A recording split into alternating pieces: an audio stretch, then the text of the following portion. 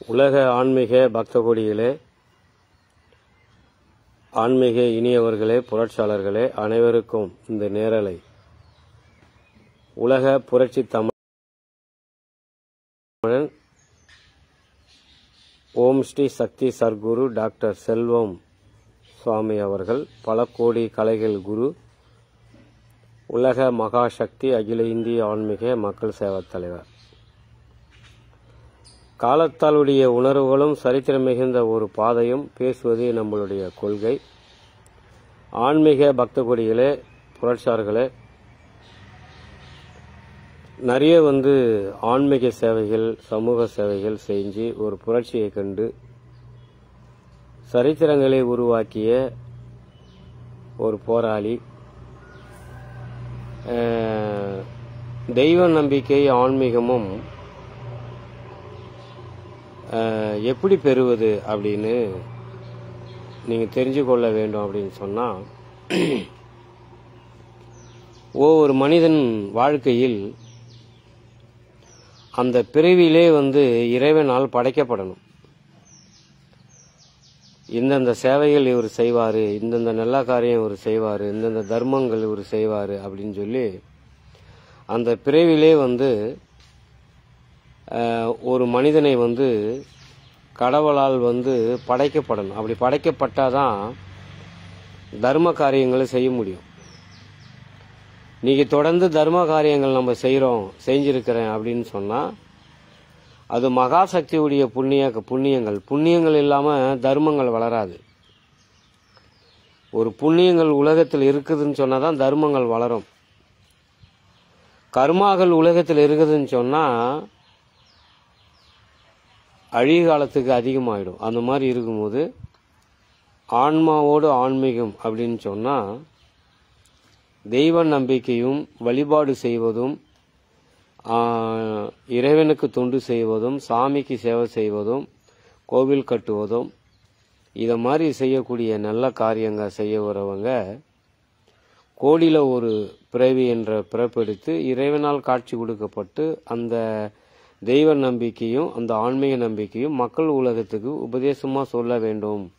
அப்படி என்ற ஒரு சரித்திரமே உலகத்தில் இருக்கிறது. அப்பேற்பட்ட சரித்திரமே இந்த உலகத்தில் இருக்கின்ற ஒரு தருணத்தில் இன்னைக்கு பல கோடி கலைகள் குரு செல்வம் அவர்கள் பல யாகங்கள் சே- சேமங்கள் செஞ்சு பல புண்ணிய காரியங்கள் செஞ்சு தர்மங்கள் செஞ்சு தர்மத்தின் அடிப்படையில் பல நன்மைகளை மக்கள் உலகத்துக்கு மட்டுமின்றி ஆன்மீக உலகத்துக்கும் சரித்திரங்களை படைக்கும் போது இன்னைக்கு நிறைய வந்து அந்த சரித்திரமே உலகத்துக்கு ஒரு பொருளாகும். நல்லா தெரிஞ்சுக்கணும். இன்றைக்கி காசு சம்பாதிக்கிறது வந்து நிறைய பேர் சுயநலமாக இருப்பாங்க. கடவுளுக்கு செலவு பண்ணக்கூடாது தானம் தர்மம் செய்யக்கூடாது திருப்பணி செய்யக்கூடாது அன்னதானம் செய்யக்கூடாது கோவிலுக்கு ஒரு நூறுரூபா தொண்டு செய்யக்கூடாது. இப்படி நினைக்கும் போது என்ன ஆகும்னா இவருடைய வாழ்க்கையில் நல்ல காரியங்கள் செய்யாத இவர் சம்பாதிக்கிறது எல்லாம் இவருக்காகவே இதுவோ வந்து இது தேவைப்படும் அப்படின்னு சில விஷயம் அவர் நினைக்கும் போது என்ன ஆயிடும்னா இதுக்காகவே எதுக்கு அவர் சேர்க்குறாரோ அந்த காசெல்லாம் சில பேருக்கு அவர் அனுபவிக்க முடியாமல் போயிடுது. நிறைய பேரை பார்த்தாச்சு. காசை சேர்க்கறது ஒரு பெரிய விஷயம் கிடையாது. ஆஸ்தி சேர்க்கறது ஒரு பெரிய விஷயம் கிடையாது.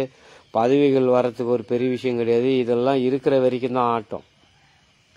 ஆனா நீ தர்மத்துக்காக வாழும்போது அந்த தர்மம் மட்டும்தான் உலகத்துல நிற்கும் வேற எதுவுமே நிற்காது நீங்க நிறைய பேர் மனம் வராதே இருப்பாங்க. நீ இயற்கைக்கு எவ்வளவு செலவு பண்றியோ அவ்வளவு தர்மமும் உன்னை காப்பாற்றும் எங்கிருந்தே உனக்கு பத்து ரூபா கொடுப்பான் இறைவன். இன்றைக்கி நல்ல காரியத்துக்கு செலவு பண்ணணும். நிறைய சேவை தொண்டு திருப்பணி அன்னதானம் இந்த மாதிரி நிறைய செய்யணும். நிறைய செய்யும் போது தான் வளர்ச்சிகள் வரும். இன்னைக்கு ஒரு கிணறு இருக்குதுன்னா அந்த கிணறு இறைக்கலைன்னா பாழாஞ்சு போயிடும். நாற்று எடுத்துடும். அது மாதிரி இறைச்சாதான் சுரக்கும். உங்களுடைய கரங்களால் என்ன செஞ்ச இந்த தர்மத்துக்காக? இந்த தர்மம் ஒன்றுக்கு என்ன சொல்லியிருக்குது? தர்மத்துக்கு நீ என்ன பண்ணியிருக்கிற? அப்படின்னு ஒரு மனித பிரிவுடைய அடையாளம் வரணும். அப்போ நம்ம ஒரு பொருளாதாரம் செல்வாக்கு வரும்போது நிறைய அம்மனுக்காக எந்த தெய்வம் எந்த சாமியால் நம்ம நல்லா இருக்கிறோமோ நிறைய தானம் தருமோ அன்னதானம் அள்ளி கொடுக்கும்போது என்ன ஆகும்னு சொன்னால் அந்த தர்மம் தான் உலகத்தில் உயர்த்து உயர்ந்து ஒன்றை நேசிக்குமா தவிர கருமா ஒன்று நேசிக்காது. நீங்கள் நிறைய தத்ரம் பிடிச்சி போய் வாழ்க்கையில் இப்படியே தான் இருப்பேன் அப்படின்னு நிறைய பேர் இருப்பான். காரணம் என்னென்னா நல்ல எண்ணம் கிடையாது நல்ல உணர்வு கிடையாது சுயநலவாதம். தான் என்ற போராமை பொச்சிருப்பு அகம் தீமை குற்றம் வஞ்சகம் போத கலாச்சாரத்துக்கு அடிமை குடி. இன்னைக்கு லட்சக்கணக்கான பேர் குடிச்சிட்டே அழிஞ்சிட்டான். கோடிக்கணக்கான பேர் குடி குடிச்சிட்டே நல்ல நல்லா வாழாதே போயிட்டான்னு வைங்க. ஆன்மீகம் உங்களுக்கு நல்ல பண்பாடும் நாகரிகமும் நல்லா வாழக்கூடிய வாழ்க்கையும் ஒழுக்கம் கலாச்சாரம் இதையெல்லாம் சொல்லித்தராரு செல்வம் அவர்கள். இதை கற்றுக்கிறதுக்கு மனம் உங்களுக்கு படக படம் படக்குதுன்னா அநியாய வழியில் போ. ஓ நல்ல விஷயத்த புரிஞ்சிக்கலன்னா வெக்கப்பட வேண்டியது நான் கிடையாது. இன்றைக்கி நான் நல்லா இருக்கிறேன் ஆரோக்கியமாக இருக்கிறேன். எந்த நோயும் கிடையாது எந்த வியாதி சைடு எஃபெக்ட் எதுவுமே கிடையாது. இயற்கையான வாழ்க்கை. தெய்வத்தை வணங்குறோம் தெய்வ நம்பிக்கையை பெறுறோம் நல்லபடியாக இருக்கிறோம். அந்த மாதிரி நிறைய பேர் வாங்க சாமிக்கு சேவை செய்யுங்க. இளைஞருங்க பட்டதாரியாக இருந்தால் கூட தெய்வத்துக்கு சேவை செய்யுங்க நல்லா இருப்பீங்க புண்ணியத்தை வளங்க கர்மாக்கள் கலைஞ்சி தர்மங்கள் உயர வைங்க அதனுடைய புண்ணியம் உங்களை காப்பாற்றும் இந்த மண்ணையும் காப்பாற்றும் மக்களையும் காப்பாற்றும் இந்த நாட்டுடைய சேமத்தையும் காப்பாற்றும் அப்படின்னு சொன்னால் நிறைய பேருக்கு புரியுறதில்ல.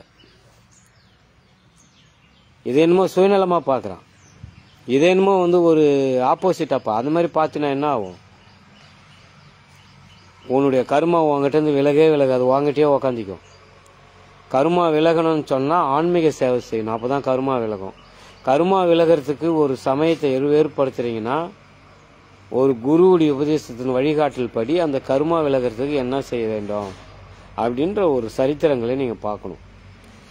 அதனால் நிறைய தெரிஞ்சு கொள்ளுங்க உங்களால் வாழ்க்கையில் எந்த சிரமங்கள் இருந்தாலும் ஆன்மீகத்தை விடாதீங்க தெய்வ நம்பிக்கை விடாதீங்க தெய்வத்துக்கு ஆன்மீகத்துக்கு சேவை செய்யுங்க புண்ணிய காரியத்தை கண்டிப்பாக செய்யுங்க. உங்கள் தலைமுறைனால அடுத்த தலைமுறை அந்த புண்ணியம் காப்பாத்தின்னு இருக்கிறோம். அதே நேரத்தில் நீங்கள் செய்கிற கர்மா வந்து சிறிதில் நீங்கள் வந்து அசாதாரணமாக நினச்சி செய்கிற கர்மா வந்து எப்போதுமே வந்து அது வெற்றியை தராது. அந்த கர்மா வந்து உலகத்தில் எப்பவுமே அழிவு தான் தந்துக்கிட்டு இருக்கிறது. தர்மம் வந்து எப்போதுமே மனிதனுக்கு ஆரோக்கியத்தை தான் தருமா. கண்டி கெடுதல் தராது. அந்த தர்ம காரியம் என்பது புண்ணிய காரியம். இன்னைக்கு நிறைய வந்து ஆன்மீக சேவை செய்யணும்னா எல்லாராலையும் முடியாது. இப்போ நான் செஞ்சிருக்கிற சேவை சிறுவயது சாதனையாளர் செல்வம் அவர்கள் அப்படின்னு சொல்லி ஆன்மீக சேவகன் அப்படின்னு சொல்லும்போது இன்னைக்கு நம்ம செஞ்சிருக்கக்கூடிய சேவையை வந்து எவனாலும் செய்ய முடியாது. ஒரு பதினஞ்சு வயதில் ஆன்மீகம் வந்து ஒரு இருபது வயசுக்குள்ள ஒரு ஒரு சக்தியை கொண்டு ஒரு அம்மாவுடைய உருவத்தை உலகத்துக்கு சொல்லி ஒரு பதினஞ்சு இருபது வருஷம் ஆன்மீக சேவையில் ஒரு புரட்சிகளை கண்டு இந்த புரட்சிகள் வந்து எல்லாராலும் செய்ய முடியாது. நீ நிறைய கெட்ட வழியில் போகலாம் அதர்ம வழியில் போகலாம் அதுக்காக நம்ம இதை சொல்கிறோம் அதனால் நிறைய வந்து ஆன்மீகத்தை தெரிஞ்சுக்க நல்ல குருவை பணிங்க நல்ல குருவுடைய உபதேசத்தை ஏற்றுங்க அவருடைய ஆசீர்வாத அன்பை பெறுங்க. நிறைய வந்து நீங்கள் கட்டுறது கை கையளவு தான் இந்த உலகத்தில் தெரிஞ்சுக்கக்கூடியது இன்னும் உலக அளவு இருக்குது கடல் அளவு இருக்குது. தெரிஞ்சுக்குங்க. விவேகமாக போங்க. ஆணவத்தில் போகாதீங்க அநியாயத்தில் போகாதீங்க நல்ல உணர்வுக்காக வாங்க. கெட்ட வழியில் செலவு பண்ணாதீங்க. கெட்ட வழியில் செலவு பண்ணுறது அது ஆத்தாளுக்கு ஆன்மீகத்துக்கு செலவு பண்ணுங்கள் அது உங்களுக்கு புண்ணியம். கெட்ட வழியில் செலவு பண்ணிட்டு நோய் நொடியோடு குடிச்சிட்டு பாதையிலே கொலை வந்து செத்து போகிறதோட ஆன்மாவுக்கு ஆன்மீகத்துக்கு செலவு பண்ணி ஆரோக்கியமாக இருங்க பேரும் புகழோடு இருங்கன்னு நிறைய தெரிஞ்சுக்கணும். நிறைய இந்த உலகத்தில் இப்படி இருந்தால் நான் அப்படி ஆகிட்டேன்னா அவனுடைய எண்ணங்கள் அப்படி. நீங்கள் ஒருத்தங்கிட்ட ஆயிரம் ரூபாய் ஜோப்பில இருந்து ஆடுவான் குடிச்சிட்டு தான் உட்காந்து அப்படியே எல்லாத்தையும் ஆடிட்டு ஒரு மணி நேரம் செலவு சில பேருக்கு அது. அதை நீ இறைவனுக்கு செலவு பண்ணால் இறைவன் பார்த்துட்டு இருக்கிறான் நீ. இந்த இயற்கைக்கு என்ன செலவு பண்ணுறியோ அது எல்லாத்துக்குமே கணக்கு இருக்குது. நான் லட்சக்கணக்கான ஏகம் பண்ணியிருக்கிறேன் எல்லாம் காத்துல போய்க்குது பல கோடி. இது நீங்க தெரிஞ்சுக்கணும். ஏன்னா நீங்க லட்சக்கணக்கான கோடியை வந்து நம்ம செலவு பண்ணியிருக்கிறோம். காத்துல போயிருக்கு ஆன்மாவுக்கு இறைவனுக்கு தெய்வத்துக்கு தர்மத்துக்கு. தர்மம் உயர்ந்திட அதர்மம் களைஞ்சிட்டு நம்ம செய்யும் போது அந்த தர்மத்துக்கு நான் ஒரு ஆள் ஏன் செய்யணும்னு நினைச்சிட்டேன்னா செய்ய முடியாது. ஏன் செய்யணும்னு நினைச்சிட்டாலுமே செய்ய முடியாது. இது செய்யணும்னு நினைச்சு இதுதான் நம்மளுடைய உயிர் இந்த நம்ம வாழ்க்கை இதுதான் அப்படி நினைக்கும் போது தான் நம்ம அதோடைய பயணத்தை பயணிக்க முடியுது. அதே மாதிரி ஒவ்வொரு மனிதனும் நம்ம ஏன் செய்யணும்னு நினைச்சிட்டா அது கருமா தத்ரம் சுயநலவாதின்னு அர்த்தம். இதை செய்யணும்னு நினைச்சிட்டுனா அது பேர் தர்மா. புண்ணிய காரியங்கள். புண்ணிய காரியம் செய்ய செய்ய தான் கர்மாக்கள் கலைந்து பாவங்கள் அழிந்து நன்மைகள் வந்து சேர்கிறது அப்படின்னு சாமி சொல்றாரு செல்வம் அவர்கள் உலகத்துக்காக. இதை வந்து நிறைய தெரிஞ்சு கொள்ள வேண்டும். உலக மகாசக்தி ஆன்மீக பக்த கொடிகள் உலக மகாசக்தி ஈட்டிப்பினர்கள் நிறைய நம்ம உலக மகாசக்தி யூடியூப் சேனலை பாருங்கள். பொது கருத்துக்களை உணர்வுகளை நிறைய சப்ஸ்கிரைப் பண்ணி ஷேர் பண்ணி லைக் பண்ணி நிறைய கமெண்ட்ல உங்கள் நண்பர்களுக்கும் நீங்கள் ஒவ்வொரு நண்பர்களுக்கும் ஒவ்வொரு மனிதனும் ஒரு இரநூறு முந்நூறு பேருக்கு ஷேர் பண்ணி நிறைய சப்ஸ்கிரைப் பண்ணி உலக மகாசக்தி யூடியூப் சேனலை மிக பிரம்மாண்டமான முறையில் நிறைய வளர்ச்சிகள் கொண்டு வந்து நிறைய உணர்வுகள் ஆன்மீகங்கள் கருத்துக்கள் பொது சமூகங்கள் டெம்பிள் வரலாறு வேள்வி ஏகம் மூலிகை அமோன விஷயம் பற்றி நிறைய தெரிஞ்சுக்கொள் பயன்பெறுங்கள். நிறைய நல்ல விஷயம். மக்களுக்காக வாழ்வியலுக்காக பயன்படக்கூடிய கருத்து மட்டும்தான் இருக்குமா கண்டி வேற மாதிரி வேண்டாவிதமான தீமைகள் எதுவுமே நம்ம சேனலில் இருக்காது அப்படின்னு சொல்லி நிறைய ஆன்மாவோடு ஆன்மாவோட ஆன்மீகத்தை நினைத்து கொள்ளுங்கள். நாம் செய்யக்கூடிய புண்ணியம் தான் நம்மளை காப்பாற்றும் தர்மம் தான் நம்மளை காப்பாற்றும் அதர்மம் எப்பவுமே துணை இருப்பாது. நீங்கள் நிறைய பேர் அதர்மத்தில் போவாங்க அநியாயத்துக்கு அக்கிரமத்துக்கு போவாங்க. அதெல்லாம் எப்பவுமே நிலை கிடையாது நிரந்தரம் கிடையாது. நீ நிறைய பேர் வாழ்க்கையில் இப்படி இருந்தால் நானும் இப்படி ஆயிட்டேனே கடைசி வரைக்கும் விளங்காதே இருக்கிற காரணம் என்னன்னா தன் மனம் சுத்தம் கிடையாது. தன் மனம் தூய்மைகள் வேணும். தன் மனம் தூய்மையிலிருந்து நீ செய்கிற கடமையை உழைப்ப அசாதாரணமாக இறைவனுக்கு சேவை செய்யணும்.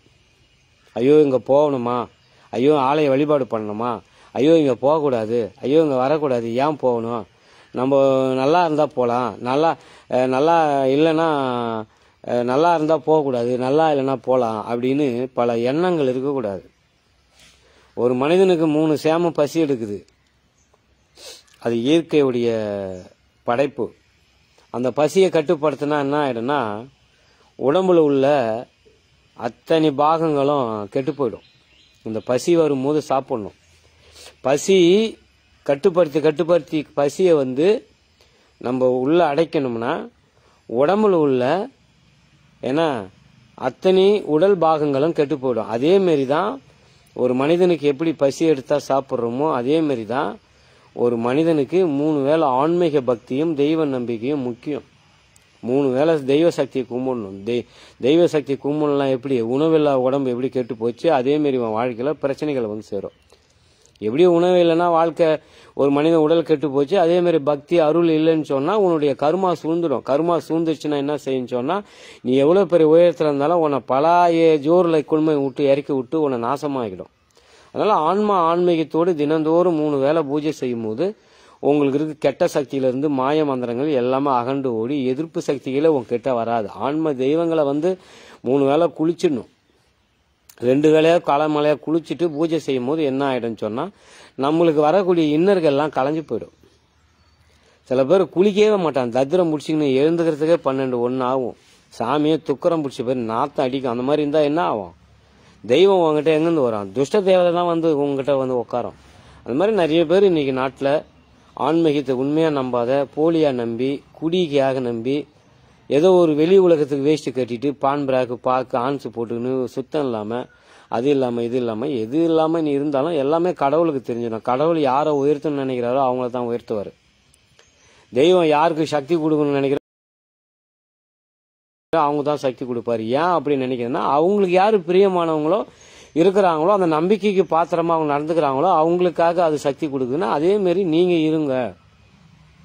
நல்ல மனிதர்களா நீங்க இருங்க. இருந்தீங்கன்னா உங்களுக்கு கண்டிப்பா தெய்வமும் இயற்கையும் கைவிடாது. நம்ம நடத்தக்கூடிய ஒவ்வொரு நல்ல காரியம் கண்டிப்பா உங்களுக்கு கை கொடுக்கும். நீ நினைக்கலாம் ஒரு பத்தாயிரம் ரூபாய் சாமி கொடுக்கணுமா ஒரு லட்ச ரூபாய் திருப்பணி கொடுக்கணுமா இப்ப செல்வம் சாமி சொல்றாரு. லட்சக்கணக்கான சேவை என்கிட்ட இருக்குது ஆன்மீகத்துல. லட்சக்கணக்கான சேவை என்கிட்ட ஆன்மீகத்தில் இருக்குது ஆன்மீக திருப்பணி இங்கே நிறைய ஆன்மீக பரிவார அன்னதான மண்டபம் உலக மகா சக்தி சித்தர் நான் யாரும் சமூக வலைதளங்கள்லையோ ஃபேஸ்புக்லேயோ நான் யாரும் காசு கேட்கறது கிடையாது. ஏன் தெரியுமா? ஒரு மனிதனை ஏன்னா ஒரு மனிதனை ஆன்மீக சேவை செய்யன்னு சொல்லி ஒருத்தனை வழியே கூப்பிட்டும் அந்த வேலை நீ வாடா அப்படின்னு கசப்பாவும் அந்த வேலை வாங்கக்கூடாது. இந்தந்த வேலை செய்யணும் இந்த திருப்பணி இவ்வளோ செலவு இருக்குது இந்தந்த வேலை நீ செய்யணும்னு சொல்லி உன்னை வழி கட்டாயமா இது நீ செய் இது கொடு எனக்கு படம் கொடுன்னு நான் கேட்கக்கூடாது. ஏன் கேட்கக்கூடாதுன்னா உன்னுடைய மனசில் நீ தெய்வ காரியம் தர்ம காரியம் செய்யணும்னு நீ முடிவு பண்ணிட்டா யாராக இருந்தாலும் இருபத்தி நாலு மணி நேரத்தில் உங்ககிட்ட பத்து ரூபாய் சம்பாதிக்கும் போது வரும்போது நம்ம இருக்கும் போதே ஏதாவது செய்யணும் அப்படின்னு உன் மனசுல நீயா உணர்ந்து ஆலயத்துக்கு வந்து இந்தந்த நான் இதை செய்யறேன் அதை அதை நீ செய்யறேன் இந்தந்த திருப்பணி நான் செய்யறேன் இதை நான் வாங்கி தரேன் இதை நீ நான் இதை செய்யறேன் அப்படின்னு நீயா வந்து அதை செஞ்சு செஞ்சினாதான் அது வந்து புண்ணியம். யாருமே இப்ப கேட்கக்கூடாது. கடவுளுக்கு போய் ஒருத்தனை வலுக்கட்டாயமா போய் ஒரு மாதிரி ஒரு இது மாதிரி கேட்கக்கூடாது. பிச்சை மாதிரி கேட்கக்கூடாது. ஏன்னா நம்மளுடைய ஆன்மாவே நம்மளுடைய உயிரையே கடவுள் பிச்சை போட்டு வச்சிருக்கான். கடவுள் இல்லைன்னு சொன்னால் இந்த உயிரும் இந்த உடலும் நமக்கு நிஜம் கிடையாது. இப்போ பேசிக்கிட்டே இருக்கோம் அடுத்த நிமிஷம் ஒன்றுமே இல்லை எடுத்துன்னு போய் விறகு வச்சு மூட்டிடுவான். இன்னைக்கு எத்தனையோ பேர் அப்படி போயிட்டான் கோடிக்கணக்கான அதிபதி பணம்லாம் வச்சிருந்து இன்னைக்கு கொரோனால எல்லாமும் மூடி ம- முகத்தை பார்க்க முடியாமல் போயிட்டான். அது எந்த காசு பணமும் அவன் கூட வராது. இறைவனுக்காக நம்ம என்ன செய்ய போகிறோம் கடவுளுக்காக நம்ம என்ன செய்வோம் நம்ம இஷ்ட தெய்வத்துக்காக என்ன செய்ய போகிறோம் நம்ம தாய்க்காக என்ன செய்ய போகிறோம் நம்ம ஆத்தாளுக்காக என்ன செய்ய போகிறோம்னா நம்ம ஒரு குருவாக இருக்கக்கூடிய குரு யாரையுமே கேட்கக்கூடாது. இந்த நம்ம இந்த பிறவியில இந்த இளமையில நம்ம இதை படைச்சோமா? நம்ம ஏதாவது செய்யணும் இயற்கைக்கு அம்மனுக்கு அம்மனுஷத்துக்கு சொன்னா உங்ககிட்ட காசு வரும்போது உடனே வந்து இந்த நான் இதை செய்யறேன் இந்த அன்னதானத்தை நான் போடுறேன் இந்த திருப்பணி நான் பண்ணிக்கிறேன் இந்த குடமுழுக்கு நான் பண்ணி கொடுத்துறேன் இந்த யாக சிலையை நான் எடுத்துக்கிறேன் இந்த அன்னதான மண்டபத்தை நான் பூர்த்தி பண்ணி கொடுத்துறேன் இதை டைல்ஸ் போட்டு கொடுத்துறேன் இதுக்கு தர போட்டு கொடுத்துக்கிறேன் இது ஒரு மண்டபம் கட்டி கொடுத்துறேன் அப்படின்னு நீங்களா அதை உருவாக்கின்னு வரணும். நீங்களா உருவாக்கின்னு நீங்களா வந்தாதான் அது வந்து சக்தி. இப்போ நான் அந்த சமூக வலைதளங்களில் நாங்கள் இதை செய்ய போகிறேன் இதை செய்ய நீ கொடுங்க எனக்கு பணம் அது மாதிரி நான் கேட்கக்கூடாது. சாமி இவ்வளோ பெரிய உண்மைகள் உணர் உணர்வுகளை சொல்கிறாரு சாமியை போய் சந்திப்போம் அவனுடைய ஆலயத்துக்கு போவோம் அம்மாவோட ஆசீர்வாதம் வாங்குவோம் ஒரு பிரார்த்தனை போடுவோம் அது நிறைவேறின உடனே வந்து நம்மளுக்காக அம்மா என்ன வேலை இடுறாங்கன்னு பார்த்து ஒரு வேலையை செஞ்சு கொடுத்துருவோம் அப்படின்னு சொன்னால் அது உனக்கு புண்ணியம். நான் வேலை இட்டு நான் ஏதாவது உங்களுக்கு கேட்டு நீங்கள் கொடுக்கல அப்படின்னு சொன்னால் அது பெரு கருமா தத்ரம். அதனால ஒவ்வொரு மக்களும் எந்த ஆலயத்துக்குமே எந்த இதுக்குமே என்னெல்லாம் வந்து எந்த சாமியுமே எந்த குருவுமே எனக்கு வழிகாட்டி கோவில் கட்டுன்னு அம்மா கூட எனக்கு அவ்வளோ சீக்கிரம் இந்த பெரிய கோவில் கட்டுன்னு எனக்கு சொல்ல நானே தான். நான் உத்தரவே கேட்க மாட்டேன். இதை செய்வா அதை செய்வான்னு. ஒன்னையா நான் உத்தரவு கேட்கணும் உன்னை நான் நேசிக்கிறேன். உன்னை நேசிக்கும் போது நான் என்ன செய்யணும்னு நினைக்கிறேனோ அதை நான் உனக்கு செஞ்சு கொடுத்துருவேன். நீ எனக்கு என்ன செய்யறன்றதெல்லாம் நான் பார்க்க மாட்டேன். என்னுடைய கடமை நான் செய்கிறேன் அப்படின்னு ஒவ்வொரு மனசுக்குள் வரணும். அப்போதான் அது பேர் ஆன்மீகம். அப்படிதான் இன்னைக்கு ஆதி காலத்துடைய சித்தர்கள் அரசர்கள் எல்லாமே இன்னைக்கு வந்து பெரிய சாம்ராஜ்யத்தை உருவாக்கியிருக்கான் அதனால ஆன்மீகத்துக்கு தொண்டு செய்யறதுனால கூட பூஜை செய்யறதுனால கூட ஒரு மகாசக்தி வழிபாட்டுக்கு நம்ம போலாம் அப்படின்னு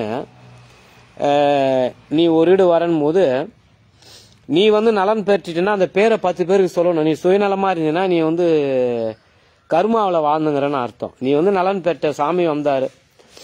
சாமியோடைய ஆசீர்வாதம் பண்ண சாமி ஒரு பூஜை பண்ண பல தீய சக்திகள் வந்து ஸ்பெஷலிஸ்ட் குரு நம்ம நிறைய பேருக்கு சரி பண்ணியிருக்கிறோம் அவங்க வந்து என்ன செய்யணும்னு சொன்னால் பல பேருக்கு சொல்லணும். இந்த சாமியால் எனக்கு நல்லது பண்ணாரு. நீங்கள் வாங்க நீங்கள் ஒரு ஐம்பது பேர் வாங்க நீங்கள் ஒரு நூறு பேர் வாங்க அம்மா வணங்க ஒரு சக்தியாக வாங்க ஒரு மாலையை போட்டுன்னு ஒரு காவியை கட்டுங்க ஒரு தெய்வத்தை வணங்குங்க. ஒரு மாவிளக்கு போடுங்க ஒரு அங்க பிரதிஷ்டை வாங்க ஒரு பூஜையில் கலந்துங்க ஒரு அன்னதானம் போடுங்க. அம்மா அவனுடைய அபிஷேகத்தை வந்து பாருங்க ஒரு ஏகத்தில் உட்காருங்க அப்படின்னு நீயா வரணும். இந்த ஆன்மீகம் பீடம் மகாசக்தியுடைய சித்தர்பீடத்தில் நான் யாரும் அம்மாசை பௌர்ணமி பூஜை யாருமே கூப்பிடவே மாட்டேன். நிறைய பேர் கூப்பிடுவாங்க. அவங்க பக்தரெல்லாம் ஃபோன் பண்ணுவாங்க. இன்னைக்கு அம்மாசை வான்னு. கூப்பிட்டு வா. அப்படி கூப்பிட்டு வரக்கூடாது. அப்படி கூப்பிட்டு எந்த ஒரு பக்தனும் வரக்கூடாது. திடீர்னு நீ வரணும். சக்தி அம்மாவை நம்பி நான் வரேங்க. அம்மாவுக்காக நான் வரேன். அப்படின்னு நீ வந்தாதான் அது பேர் சக்தி. அது பேர் பக்தி. அது பேர் அருள். யாரையுமே கூப்பிட்டு கூப்பிட்டு வேலை வாங்கக்கூடாது. தன்னிச்சையாக ஒரு மனித சூழ்நிலத்துக்குள்ள ஒரு மனித சூழ்நிலத்துக்குள்ள வாழாமல் தன்னிச்சா பொது நலத்துக்காக ஆன்மீகத்துக்கு வரும்போது தான் கடமையை நீ செஞ்சினா அதோடைய பலன் கண்டிப்பாக கிடைக்கும். நிறைய பேர் அப்படி நினைக்கிறது இல்லை. காசு பணம் வந்தால் ஒரு ஜோறு கடவுளுக்கு ஏன் செலவு பண்ணணும்? அம்மாவுக்கு ஏன் செலவு பண்ணோம் உன்னை வாழ வச்ச தெய்வத்துக்கு ஏன் செலவு பண்ணோம் அப்படின்னு நினைக்கிற கெட்ட எண்ணம் கேடு புத்தி அப்புறம் யாருக்கு செலவு பண்ணுவ? நீ தரம் கட்டு நடக்கும் போது அம்மா தானே இந்த குரு தானே வந்து உனக்கு உழைச்சிது வேற யார் வந்து உழைச்சது? இப்போ நீ நல்லா இருக்கும் போது அதை யாருக்கு ஷேர் பண்ணிக்கணும்? அம்மாவால் இந்த குருவால் நல்லா இருக்கிறோம் இன்னைக்கு நம்ம கிட்ட காசு இருந்தது பணம் வருது. இந்த ஒரு ரெண்டு லட்சம் எடுத்து போய் சேவை செய்வோம். பத்து லட்ச ரூபா கொடுப்போம் அஞ்சு லட்ச ரூபா கொடுப்போம். இது அன்னதானம் போடுவோம் இந்த தரை போட்டு கொடுப்போம் இந்த டைல்ஸ் போட்டு கொடுப்போம். இப்படின்னு அந்த எண்ணம் உதயணும். அது பேர் தான் பக்தி. சூழ்ச்சி கெட்ட எண்ணம் கேடு பூத்தி வச்சுக்கினீங்கன்னா அது பேர் பக்தி கிடையாது. அது வந்து அழிகாலம் கருமா. நீங்க நிறைய பேர் அழிகாலத்துக்கு தான் அப்படி போகலாம் அதனால பக்தி என்பது என்னன்னு சொன்னா யாரோ கூப்பிட்டு அடி பண்ணியிருக்கு பக்தி கிடையாது. அது ஒரு பக்தியும் கிடையாது அது ஆன்மீகமும் கிடையாது. உன் மனசுக்குள்ள இன்னைக்கு வேண்டுறியா? தெய்வத்துக்கிட்ட நீ வேண்டுறியா? இன்னைக்கு ஏறுறியா? அம்மாவை போய் தரிசனம் பார்க்கணும். ஒரு அர்ச்சனை பண்ணணும் ஒரு பிரார்த்தனை பண்ணணும் நினைக்கிறியா? இது வந்து நான் கூப்பிட்டு நீ வாங்கன்னு வரக்கூடாது. அது வந்தீங்கன்னா உனக்கு ஏறுவே கிடையாது. தத்ரம் அது. ஒரு திருப்பணி ஒரு காணிக்கை ஒரு இது நான் கேட்கவே கூடாது உங்களை. நீ கேட்காமே கொண்டாந்து அம்மாவுக்கு நான் இதை செய்கிறேங்க நான் இதை செய்கிறேங்க செய்கிறேன்னு செய்கிறேன்னு சொன்னதான் அது பேர் தான் பக்தி அது பேர் தான் புண்ணியம் அது பேர் தான் சக்தி. சத்தியத்தை முத உணரணும். நீங்கள் நிறைய பேர் சத்தியத்தை உணராதே இருக்கான். இப்போ என்கிட்ட என்கிட்ட யாருமே வேலை இடலை. பல கோடி என் கை நான் சம்பாரிச்சது போற வீண் செலவு பண்ணல. எல்லாம் தர்ம காரியத்துக்கு பண்ணேன். அது என்னுடைய மன நம்பிக்கைன்றதோட எனக்கு பிடிச்சது இதுதான் அப்படின்னு நான் பண்ணேன். அதே மாதிரி ஒவ்வொரு மனிதனுக்குள்ள ஒரு சக்தியும் ஒரு தர்மமும் நேசிக்குமானால் இதை யாரும் வேலை இடணும்னு நினைக்க கூடாது. இந்த ஆன்லைன்ல ஏங்க பக்த கொடிகளே யாருன்னா இருக்கிறீங்களா? மகாசக்திக்கு ஒரு லட்சம் கொடுங்க இந்த அன்னதானம் போடுங்க அதை செய்யுங்க இதை செய்யுங்க வாங்க திருப்பணி செய்யுங்க நான் கேட்கக்கூடாது இவ்வளவு பார்வையாளர் வராங்கன்னா சாமி உலகத்துடைய நன்மைகள் செய்கிறாங்க சேவைகள் செய்கிறாங்க அப்படின்னு சொன்னா நீங்களா என்ன பண்ணணும்? சாமி செய்யக்கூடிய நல்ல காரியத்துல நாங்களும் த- பங்கேற்றுக்கிறோம். நாங்களும் அதை தொண்டு செய்கிறோம் அது எங்களுக்கு புண்ணியம். சாமியுடைய ஆசீர்வாதம் குருவுடைய ஆசீர்வாதம் இருக்கட்டும். அப்படின்னு ஒவ்வொரு மனநிலையிலும் உதயணும் அது. நான் உங்களை வழியே நீங்கள் கஷ்டப்படுற அளவுக்கு உங்களை பேசி இதுக்கு வா சேவைக்கு வா அதுக்கு வா இதுக்கு வா. இன்னைக்கு சித்ரா பௌர்ணமி நம்ம பண்ணுறோம் பிரம்மாண்டமாக சித்ரா பௌர்ணமி பண்ணுறோம் பால் குடம் தீமிதிங்கிறது ஒவ்வொரு மனிதனுக்கு புண்ணியம். அதில் கலந்துக்கிறதுக்கு அதுக்கு வரணும்னா நீ கொடுத்து வச்சிருக்கணும். இத வந்து நிறைய பேர் கசப்பா இருக்கு. நம்ம இன்னமும் வேலையிட்டு வழியை அவனை கூப்பிட்டு வந்து செஞ்சு இதனால நம்மளுக்கு இன்னமும் உலக ஒதுக்கிற மாதிரி நினைக்கும் போது அது வந்து தவறு. உன்னுடைய பிணி தீர வேண்டும் சொன்னா ஒரு சாமி வழிதான் காமிக்க முடியும். உன்னை வந்து உன்னை வழியே உருவி இழுக்க முடியாது. அப்படி இழுத்து என்னத்துக்கு அந்த வேலை? அந்த பக்தியை ஏன் நம்ம உருவாக்கணும்? அது எதுக்கு அந்த அந்த மாதிரி பக்தி? அது வந்து அந்த மாதிரி பக்தியே உலகத்துல இருக்கக்கூடாது. அதனால நீ வந்து அந்த பௌர்ணமி அந்த விழான்னு சொன்னா நான் மறந்தாலும் நீ மறக்காத அம்மாவுக்கு போகணும்னு சொல்லி நீ ஒரு வாரம் விரதம் எடுத்துக்கணும். நீ பத்து நாள் விரதம் எடுத்துக்கணும். நீ உனக்கான கட்டளை என்னவோ நீ என்ன செய்ய போறியோ அந்த விரதத்தை முழுமைப்படுத்தி நீ வந்து அம்மாளுக்கு செய்யக்கூடிய வேலையை நீ முழுமையா செய்யணும். அது பேர் தான் பக்தி. ஊடு ஊடா போய் நம்ம கூப்பிடக்கூடாது யாரையும். இங்க வாங்க அங்க வாங்க இதை செய்யுங்க அதை செய்யுங்க. அப்படி இப்படி இந்த நோட்டீஸ் நோட்டீஸே யாருக்கும் கொடுக்கக்கூடாது. உன் மனசுல என்ன தோணுது? அம்மா வணங்குறிய? அம்மா வணங்கு. என்ன நீ தீ மிதிக்க போற தீ மிதி என்ன பால் குடம் எடுக்க போற பால் குடம் எடு. அம்மாவுக்கு நீ என்ன காணிக்கை செலுத்த போற காணிக்கை செலுத்து. அம்மாவுக்கு நீ என்ன அன்னதானம் செலுத்த போற அன்னதானம் செலுத்து. அந்த மாதிரி என்னை கேட்கவே கூடாது. ஒரு ஆலயத்துக்கு வரதா கூட ஒரு குருவுக்கு போன் பண்ணியே கேட்க கூடாது. திடீர்னு வரணும். அவர் இருக்கிறாங்களா இல்லையா சாமியை போய் பார்ப்போம் அப்படின்னு வரணும். அது வந்து பக்தி. திடீர்னு ஒரு ஒரு சேவையை செய்யணும். திடீர்னு வந்து ஒரு ஒரு லோடு மண்ணு வாங்கி தரேன் ஒரு கல் வாங்கி தரேன். நான் இந்த திருப்பணி ஏத்துக்கிறேன் இது ஏத்து அது பேர் தான் பக்தி. நம்ம போய் யாரையுமே கேட்கக்கூடாது. ஆன்மீகத்தை பொறுத்தவரை வீடு வீடா போயிட்டு நோட்டீஸ் ஏத்துக்கின்னு ஐயோ கோவில் கட்டுறோம் பணம் கொடுங்க திருப்பணி கூட்டுருக்குங்க பணம் கொடுங்க இங்கே வேலை நடக்குது பணம் கொடுங்க நான் அன்னதானம் போடுறேன் பணம் அதுமாரி கேட்கவே கூடாது. ஏன்னு சொன்னா நம்மளுடைய உடைமைகளை காப்பாத்துறது தாய். தாயுடைய உரிமைகளை நம்ம காப்பாற்றணும்னு சொன்னா நமக்கு அந்த உரிமை இருக்குதுன்னு முடிவு பண்ணோம்னு சொன்னா நம்ம நம்மளால முடிஞ்சதை இறைவனுக்கு தெய்வத்துக்கு செய்யுங்க. நம்மளுடைய வரலாறை காப்பாத்துங்க. தர்மத்தை உயர்த்துங்க. வீண் விரியத்துக்கு செலவு பண்ற லட்ச லட்சமான செலவுகளை ஆன்மாவுக்கு செலவு பண்ணுங்க. ஆன்மீகத்துக்கு செலவு பண்ணுங்க. அது எப்பவுமே வீண் போயிடாது. நம்ம குழந்தை குட்டிங்களுக்கு உங்களுடைய தலைமுறைக்கு எப்போதுமே துணையாக துணையா இருந்து தெய்வத்துடைய பேர்வர்கள் கண்டிப்பா உங்களுக்கு இருக்கும். அந்த மாதிரி நிறைய ஆன்மீக திருப்பணி அன்னதானம் நிறைய தெய்வ காரியங்க அந்த மாதிரி நிறைய செய்யுங்க. உலக மகா சக்தி ஆன்மீக மக்கள் பீடம் உங்களுடைய அன்போடு வரவேற்கிறது. எத்தனையோ திருப்பணிகள் இங்கே பீடங்கள் மக்கள் சேவைக்கான பணிகள் நிறைய இருக்குது. அது மாதிரி விருப்பம் உள்ள மனிதர்கள் நல்ல உள்ளம் படைத்தவர்கள் நிறைய பேர் அம்மா ஆலயத்துக்கு வாங்க. உங்களால் முடிஞ்ச சேவைகளும் உணர்வுகளும் பகிர்ந்து கொள்ளுங்க அப்படின்னு நிறைய விஷயங்களை சொல்லி கொண்டு வருகிறேன். நிறைய அம்மாவுடைய ஆன்மாவோட கலந்துக்குங்க. ஆத்தா உங்களுக்கு எப்போதுமே துணையா இருப்பாங்க.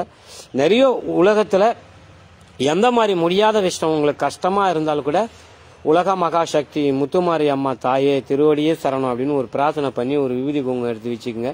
அம்மா உங்களுக்கு போகிற இடம் பூரா வெற்றி கொடுப்பாங்க. அந்த வெற்றி நடந்த உடனே அம்மா வந்து ஒரு தரிசனம் பண்ணிட்டு போங்க. திருமண தடை பிரச்சனை மண் வாங்குறது வீடு கட்ட முடியாத குழப்பம் எது இருந்தாலும் ஒரு பிரார்த்தனை பண்ணிக்கோங்க.